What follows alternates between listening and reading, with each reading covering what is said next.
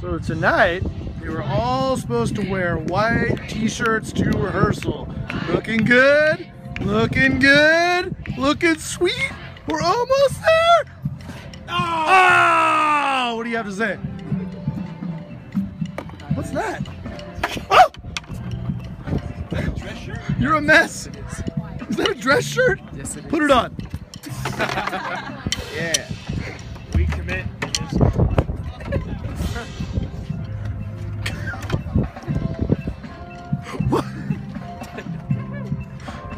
Is, is this what you thought when we said white shirt? draw him so much better. Is that like a tuxedo shirt? I don't even know. like the way it. That's a tuxedo shirt. You're gonna like. Lost and found. Lost and found.